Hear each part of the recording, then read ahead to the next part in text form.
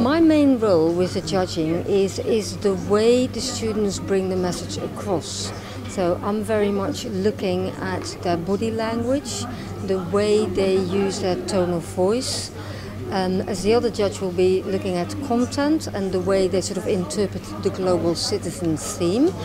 I'm very much looking at the way they are bringing their message to the audience.